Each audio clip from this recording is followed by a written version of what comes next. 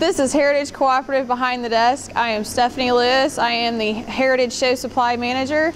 We have three show supply trailers that we travel around uh, the state with. Uh, this season we are following the Ohio Cattlemen's Best Series.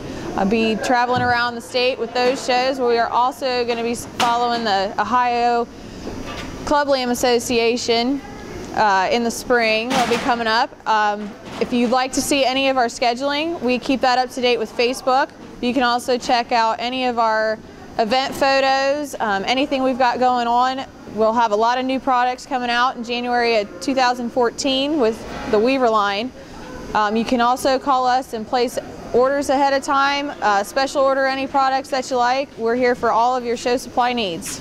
This is Stefanie Lewis behind the desk with Heritage Cooperative.